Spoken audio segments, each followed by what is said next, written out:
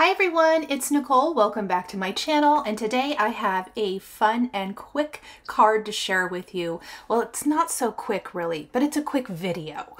Um, we're going to do some textured stenciling and die cuts. In my last Pretty Pink Posh video for this month, I shared some ideas with the Picket Fence Studios Paper Glaze and Glitz and we are going to revisit it, but we're going to just kind of kick it up a little notch. So I am going to start with this gorgeous, gorgeous Spanish moss color. And if you have seen any of my holiday videos or like cards, tags, anything this season, you will know that I'm obsessed with the Tim Holtz um, iced spruce color. I love it. Well, Spanish Moss from Picket Fence Studios really gives me the um, iced spruce vibes, but look at that shimmer. I actually just applied a super thin layer of it to a piece of 110 pound weight Neenah smooth white cardstock.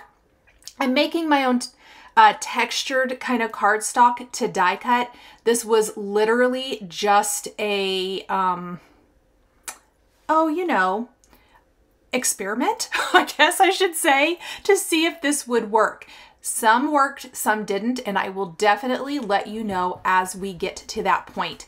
This is a little silver sparkle, and I'm going to apply a nice thin layer of this as well to create another little sheet. I'm only going to do about half the sheet and I am trying to spread it really thin, you guys.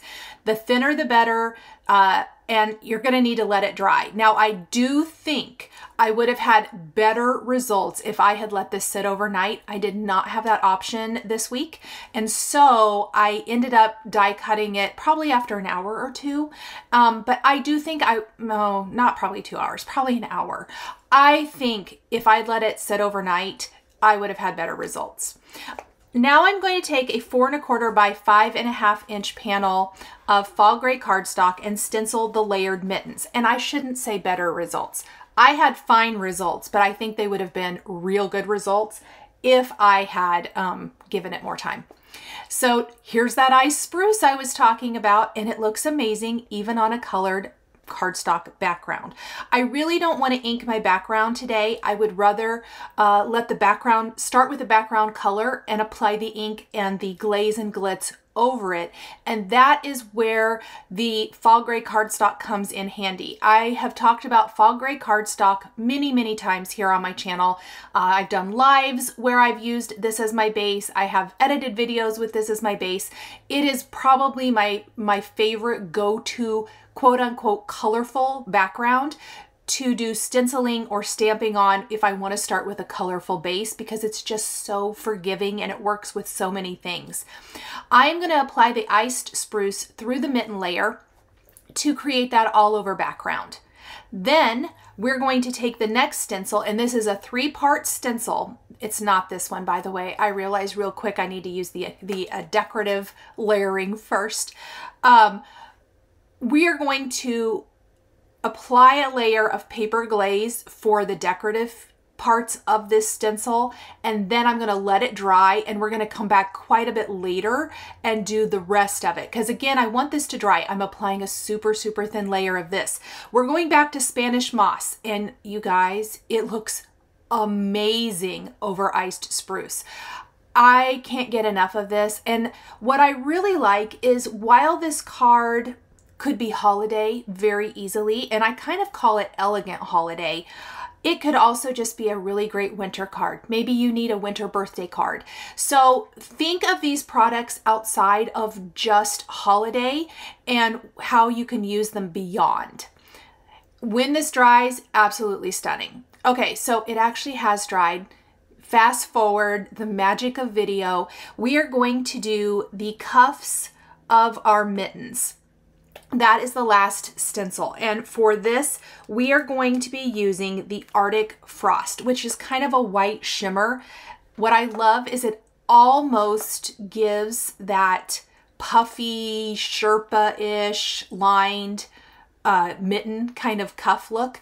I love it when it's applied.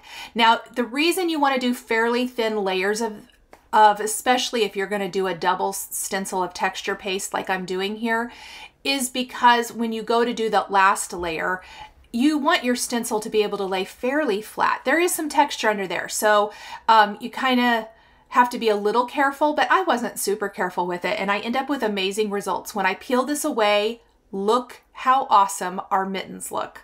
Ta-da! I love this background. I love it, love it, love it. Off camera, I did do quite a bit of die cutting, and that is to save some time. I die cut the mitten shaker die, and I didn't make it a shaker because I didn't want to cover up the background very much. I die cut the mitten shaker twice from smooth white cardstock, once from vellum, and the reason I did vellum is I am going to attach my mitten and I'm going to do two layers because I think it just looks a little nicer because I want to kind of mute the background, but I don't want to completely cover it up. And vellum is the best thing for that, in my opinion. I love a good little vellum piece because it still allows you to get a peek through. And of course you have all of the great detail around. Here is that cardstock piece. Now you can see part of my big poinsettia tore when I die cut it, it probably wasn't all the way dry. That's what I was, that was one of the little things I wanted to talk to you about. Um, but I can hide that. We can hide it with the layering piece, so I didn't worry about it. Now, one of my leaves, you can see it there on the screen, that was die cut from silver. It tore as well, but it's tucked underneath the poinsettia, so I'm gonna use it anyway. And then I did die cut the Winter Wishes. I'm only gonna use Wishes. I did die cut that from the paper that had the Arctic Fox, not Arctic Fox, Fox Spanish Moss. And then from the winter foliage, I die cut some sprigs. Now the um, one pine tree did not die cut well at all, um, but the other one did. I don't know. Maybe if I'd let it sit longer, it would have been fine, but I just went with what I had. And you can see that I have die cut lots of pieces and most of them had no trouble at all. So um, it's kind of a trial and error, but I love it because it matches my card perfectly and it also gives some great shimmer. If you don't want to do this with a paper glaze, you can always use like mica stains. I'll refer you here at the end of this video to my other video, but I created a flower. I actually used that, that snowflake as a layering piece in my flower. That is from the Mitten Shaker die collection. And then my sprigs and leaves are all silver. So my flower is the beautiful blue or Spanish moss.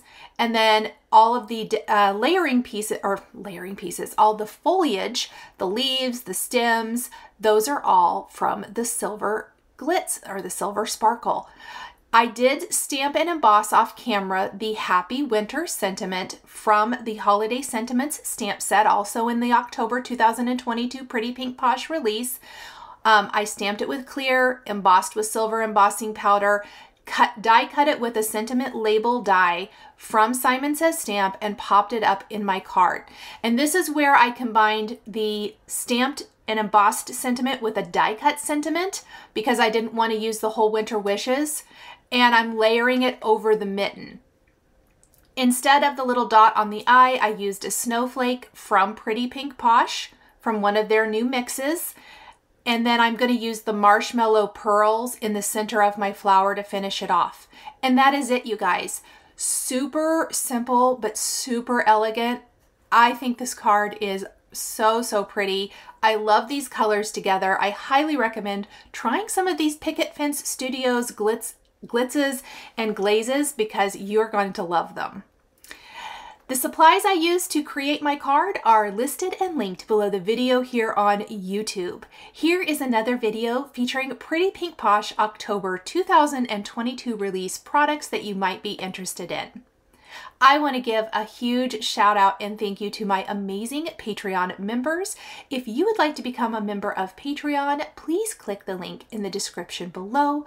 We would love to see you over there as part of our growing community. If you enjoyed this video, please subscribe to my channel, click the like button, and don't forget to hit the notification bell to always be notified when I have a new card making video. Thank you guys so much for joining me today, and we'll see you next time.